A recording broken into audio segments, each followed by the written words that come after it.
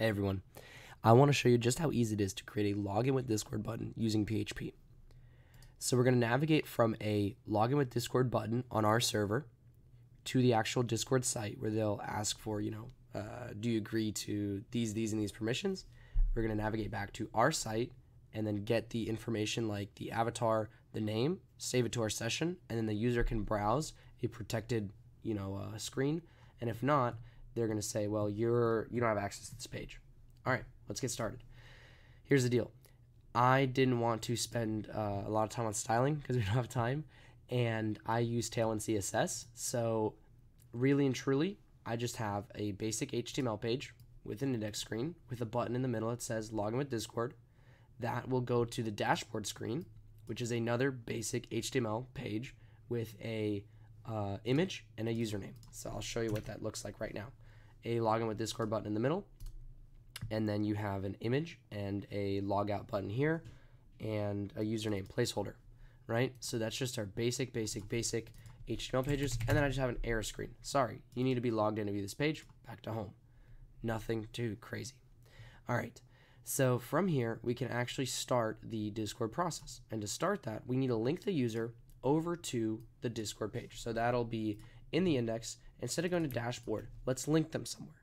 Now, I'm not going to link them directly in the HTML. I'm going to link them to another PHP file called initOauth.php. OAuth.php. All right, I'll make that here. So I'll say init-oauth.php. That'll take them to this page. From here, oh man, I don't like that autocomplete at all. From here, we are going to set uh, a Discord URL. That's where we're going to route them to and then I'm going to route them using the header, location, and then discord underscore URL, and exit off of it. So what is this Discord URL file? Well, we got to make one. We got to go to the Discord developer portal, log in, create an account, that kind of thing. Hit applications, create a new application, and we'll say login with Discord. Great. Now we can personalize things. So I will personalize a quick logo, put in PHP in there. And we, to move forward and get the actual URL, we need to do two things. Number one, save those changes. Number two, let's go to our general tab and add a redirect. So the redirect will be where does the user go after they initiated the request. So they go from our server to Discord and then back to our server. And we want them not to go to init.oauth, but we want them to go to a new page called process-oauth.php. Now make sure we have the correct URL. Instead of going from index, let's go to process-oauth.php. Let's go there. It's not found. We spelt it wrong. And we spelt it wrong again. So this is the page that we're going to. So we're going to paste this into our redirect. And it's green. We'll hit Save Changes. And now we go to our URL generator. And we can say, okay, well, we want the identity and maybe their guilds. So now I select that uh, redirect that we just added, hit copy, and that's what we can use in the init OAuth to link them to. Now the user can literally go to this URL here and it'll take it into the screen, but we want PHP to do that. So we will say Discord URL is that, and it's going to be header location there. So let's test it out. I'm going to close Figma, go back to Chrome, go back to our index.php, and I'll hit login with Discord. Boom, it takes me to that screen. Now if it authorized, it's going to take me back to process OAuth, but it's going to give me a code. So let's take that and run with it. Let's open up our PHP and we want that code. So if there's no code, right, if uh, it's not set get code, then we want to error them out, right? We can say echo no code exit. So, you know, if they happen to not send us a code, let's see, they didn't send us a code, then no code, no code runs. Okay, but if we have the code, we can actually get started with um, sending a payload back to Discord and um, getting further authentication from there. So let's save that Discord code into get code. Okay. Um, and then uh, we're going to get a payload started. So in this payload, we're going to need, obviously, the Discord code. So we'll put, um, I think it's called code, Discord code. Um, and we need a few more things. So we'll pay, copy and paste this down a few more times and we'll say we not only need a code, we need a client ID, a client secret. This is everything Discord uh, expects from us, right? A grant type, and a redirect underscore URI. And finally, one more, we'll add scope. All right, so code we've already set. Client ID we'll put in in a second. Client secret we'll put in in a secret. Grant type is a simple string that we know right now. It's called authorization codes. That's what we're asking for. And our redirect URI is that same redirect URI that we specified in Discord earlier. This guy right here. So if I could copy and paste that, I guess we'll have to do that in general. Copy that, paste that here. And our score, it's not score, it's scope. Our scope is going to be that identify as well as guilds. Now, if we do this, this space in here, it's incorrect. We have to put it URL encoded, which is percent 20. And then we just need our client ID and client secret, and we find them on this OAuth general screen. So we get our client ID, we paste it in here, and we need our client secret. To get our client secret, we need to reset it, and we need to put in our authenticator code. So I need to log into my phone. Uh, just started typing stuff in. There we go. So that's my 2auth and I'm going to copy that secret. I'm going to paste that secret in a client secret there, and this should be a correct payload. To make sure that we're, you know, actually doing it, let's uh, go ahead and print R it into our page here, and that looks good. We have everything we need identified. Da, da, da, good. Um, so now we actually have to turn that into a HTTP payload, and so we'll make it um, we'll make it like a payload underscore string, and we'll set that to HTTP underscore build underscore query and our payload. So now we have this payload as a string. Now where is this payload going? It's going to the Discord token URL, and that's located at um, Discord's API endpoint. Okay, so https colon slash slash discordapp.com slash API slash OAuth2 slash token.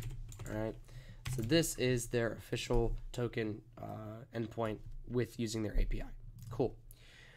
Now, to actually send this payload, we're going to use curl. So you're going to need curl enabled on your um, PHP environment. And we're going to just look up some basic curl uh, let's see, request post um, here, just so we have something to, to start with, um, so we don't have to type in everything. So we are going to use, let's see, that's not it. You know what, let's just type it in slowly ourselves. All right, so to open it up, we're going to curl init a curl, okay? Um, then we're going to set the options of uh, our curl that we just created.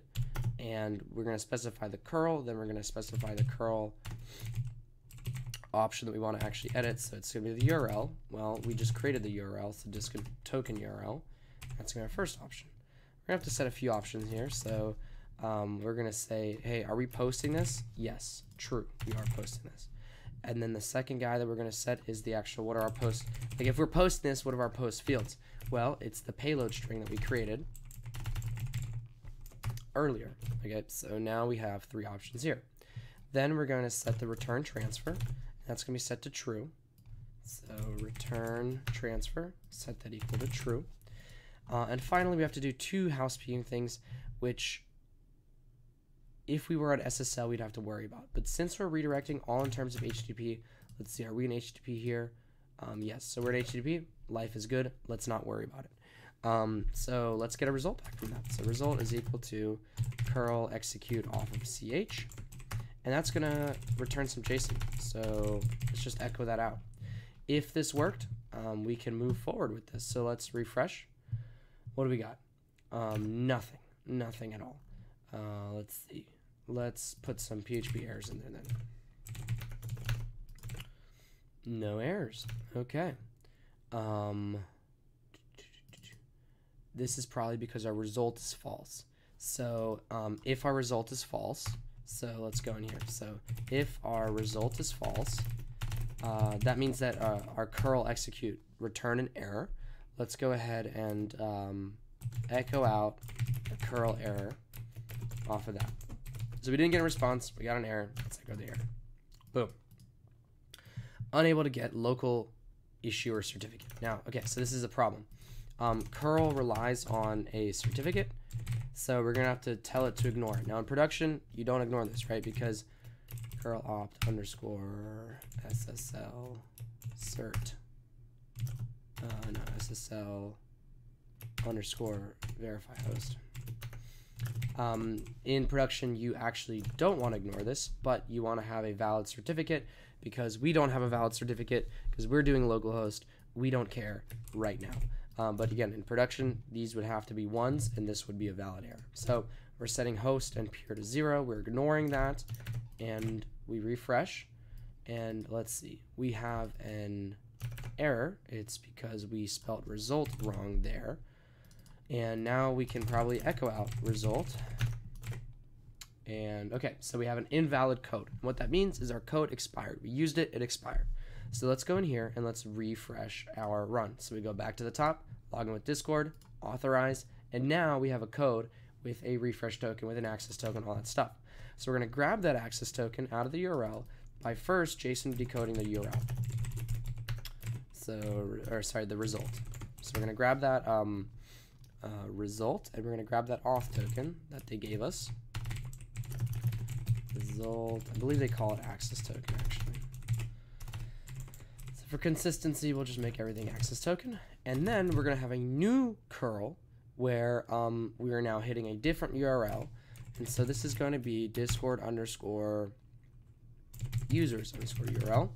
And so we're going to go back up here to this API string right? But instead of going to token, we're going to go to API slash users, sorry, slash, yeah, users slash at me. And that's, that's going to be the URL that we want. And then in our header, um, since we're not posting anymore, we're now just passing headers. We're passing that uh, authorization token back. We're going to set an array, and it's going to be authorization bearer. It's going to be two strings. Sorry, authorization bearer and we're going to pass that access underscore token here. And then we're just going to specify what kind of content type this is. Access www.form slash URL encode. Encode. Okay. So now we have a we have our header. We have the URL that we're trying to hit. Guess what? We got to hit a new curl. So let's start a new curl and um, set the correct URL here. Uh, move forward with are we posting? This time we're not posting, so we're posting false. Um, let's see, are we going to return transfer? Yes, we're still going to return transfer. We're still going to ignore this stuff, and we'll have the result here. We need to make sure to pass the headers, so I will add a thing up here saying curl opt underscore header. Well, it's our HTTP header, right? and we'll pass the header in here, right, this array. So now we have an initiate, a header, a URL, um, and we're setting these kind of uh, fields to, you know, what their what their uh, defaults need to be. And finally, we should get a result. So if we did everything correct, we should get a JSON result back. Um, from the top again, so we don't expire our code, authorize, and boom, we have exit, who is my uh, login, with their avatar, with their um, ID. Perfect. So all we have to do is now take that and make that uh, JSON decoded again. Result true. And we'll store it in our session. So we'll hit session, session underscore start. Oh my, okay. And we're gonna set session logged in equal to true. And we'll set some session, let's go session user data. We'll make it an object that has a name, uh, a Discord ID, and um, an avatar. Okay, and we're gonna get that from our results. So it's gonna be result avatar, our result ID, and our result name. Okay. So we have a name, Discord ID, and avatar, and we close that out. From here, we can redirect them to the dashboard. I don't know why my uh, keyboard is spazzing out there. All right, so we're gonna go to the dashboard here, and let's, I mean, let's try running it again. It should take us to the dashboard. All right, we're in the dashboard. Now, we're gonna have to fill this in ourselves, but let's go to the dashboard. To see if this worked, let's start a session on our PHP end. And we'll go session underscore start. And to get our um, object as variables, we can do a neat little trick, uh, which is called extract, right? So right now user data has a name, a Discord ID, and uh, an avatar. So our we can just go extract underscore session user data. And what this does is this extracts the keys into their respective um, variable names. So if I echo name now, this should work. So PHP echo name. It did not work.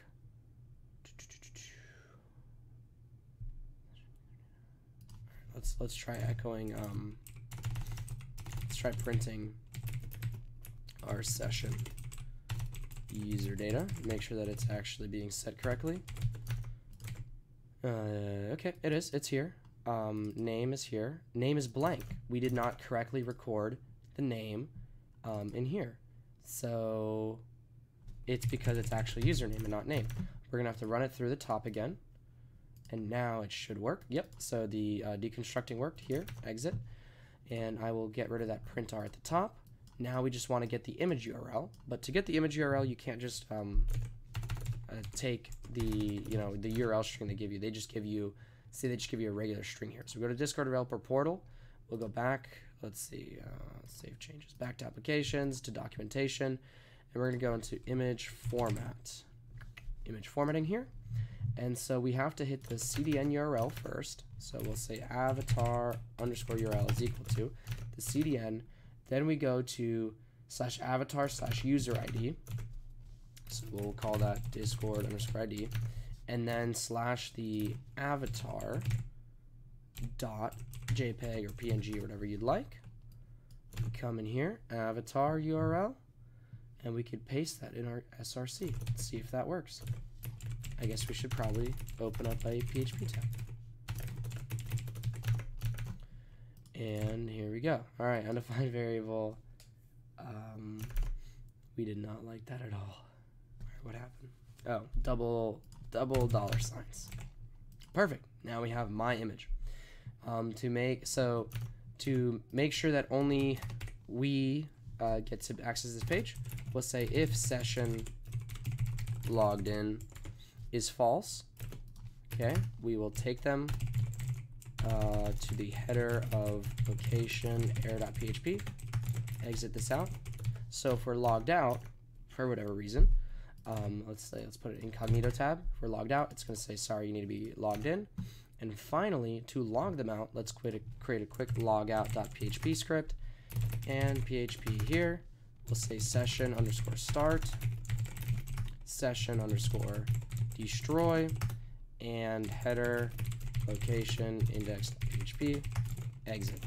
All right, perfect. So if we go to the dashboard and we make this logout.php, refresh, logout, takes us to the logout screen. For some reason, the logout screen is not redirecting us correctly because we don't have the correct syntax here. So here we go. And now we should be logged out. So if we go to dashboard, manually, it'll say, no, you need to be logged out, logged in. We go back to home, log in, we authorize, um, and we did not get so okay right now we are logged in officially um, but it does not like something that we did. Is that because we put three uh, three G's here? Yes it is. So let's log in here authorize and now we're in the dashboard. Now we can log out we can log back in and uh, we have this session so we can browse around different pages and be logged in from there